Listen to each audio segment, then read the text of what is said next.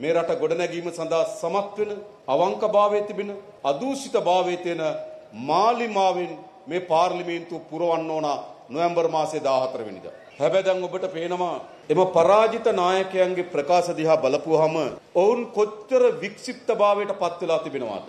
ඇති තරම් අපි ගැන එක එක ඒවා කියන්න. එතකොටවත් හිත හැදෙනවා නම් හොඳයිනේ. අද අපි සමත් වී තිබෙනවා. අපේ රටේ ආර්ථිකයේ ප්‍රධාන මෙහෙයුම්කරුවන්ට ජාතික ජනබලවේගයේ ආණ්ඩුව කෙරෙහි විශ්වාසය සහතික කරන්න සමත් වී තිබෙනවා. ඒකේ ප්‍රතිඵලයක් හැටියට ඩොලරය 300ට යටින් තියෙනවා. ජනතාවගේ අත්‍යවශ්‍ය සේවාවන් අකණ්ඩව ලබා දීමේ අභියෝගය. අපි ඒ අභියෝගය ජයග්‍රහණය කරලා තිබෙනවා. ඒ වගේම වුණ අපිට කිව්වා ජාතික ජනබලවේගයේ ආණ්ඩුවක් ආපුවම ලෝකෙන් මුදකලා වෙච්ච රාජ්‍යයක් බවට පරිවර්තන වීම. අද මෑත කාලේ ජාත්‍යන්තර සහාය ලබා ගන්න ප්‍රබලතම ආණ්ඩුව බවට ජාතික ජනබලවේගයේ ආණ්ඩුව අපි පරිවර්තනය කළා තිබෙනවා. මේ අය මොනතරම් ප්‍රමාණයක මේ රාජ්‍ය දීපල තමන්ගේ ජීවිතයේ සුඛ විහරණය වෙනුවෙන් පාවිච්චි කරලා කොච්චර ඇබ්බැහිවීමක් තියෙනවද කියනවා නම් ඔවුන් පෙරදිලා ඒව නැතුව බෑ. 1977 ඉඳන් ඇමති හැටියට මහජනක දේපල තමගේ ජීවිතය වෙනුවෙන් පාවිච්චි කරේ. විපක්ෂ නායකවර හැටියට මහජනක දේපල.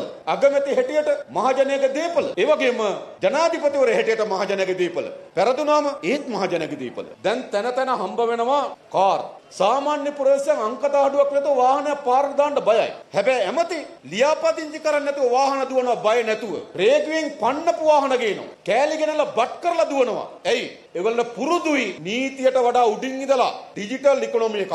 ඊ අපි ලංකාවේ ඒ ශාස්ත්‍රය පිළිබඳව බිහුණු වැදගත්ම වෘත්තීයවේදියා. ලංකාව ඩිජිටල් කරවීම සඳහා සතයක් ගන්න නැතුව වැඩ කරන්න ලංකාවට ආවා. අපි අලුත් ඩිජිටල් ඉකොනොමි පිළිබඳ අමාත්‍යංශයක් ගොඩනගනවා. පෝලිං වල ඉන්න බදාදට රාජ්‍ය කාර්යාල පිරෙන මේ මුළු මනින්ම සංස්කෘතිය වෙනස් කරලා ආර්ථික වශයෙන් සහ ජනතාවගේ සේවාවන් සැපයීමේ වැදගත් කාර්යක්ෂම ඩිජිටල් ඉකොනොමි එකක් ශ්‍රී ලංකාවේ ගොඩනගනවා. අපි ඉදිරිපත් කරන පළමු අයවැය කෙනින්ම රාජ්‍ය සේවකයන්ගේ වැටුප් වැඩි කරනවා. ඒ වගේම අපි සැලසුම් කරමින් තිබෙනවා පාසල් දුවා දරුවන්ට ලබා දෙන ක්‍රමවේදය සාර්ථක වුණොත් මේ නිවාඩුවට ගෙදර යනකොට පොත් ගන්නත් පාසල් ළමයට දීමනාවක් දෙන්න අපි සැලසුම් කරලා තියෙනවා.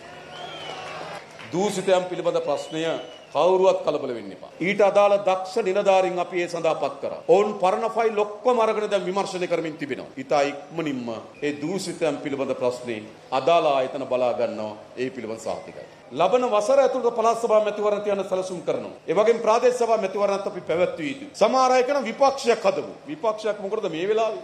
විපක්ෂයක් මේ වෙලාවේ ඕන වෙන්නේ මේ වගේ කරන වැඩවලට කකුලෙන් අදින්න. මේ වෙලාව ඕන මොකද්ද? මේ වෙලාවේ වෙන ශක්තිමත් ආණ්ඩුවක්. ඒ නිසා මේ නොවැම්බර් මාසේ 14 වෙනිදා ශක්තිමත් ආණ්ඩුවක් හදමු.